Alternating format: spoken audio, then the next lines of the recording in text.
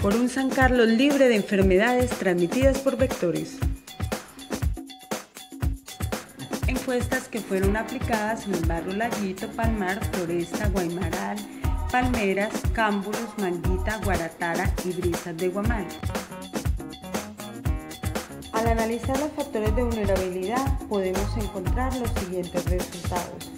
El 86% del total de encuestados sabe cómo se transmite la CTV, el 56% no conoce el sentido transmisor, mientras que el 82% tiene claridad sobre las enfermedades que transmiten.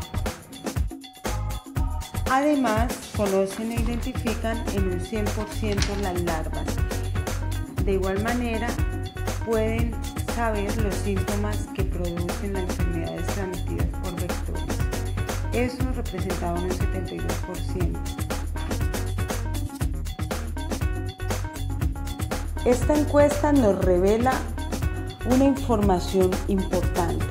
No es la falta de información, educación y comunicación en el tema lo que a las comunidades les hace falta.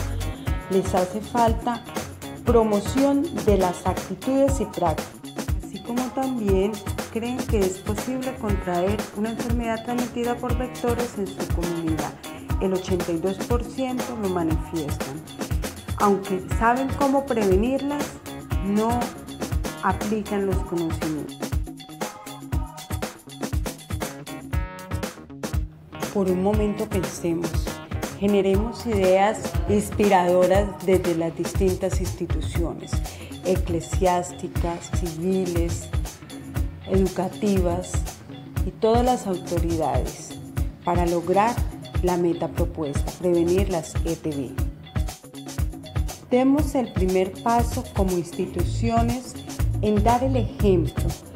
Seamos portavoces de conocimientos, actitudes y prácticas frente a la prevención de estas enfermedades que afectan.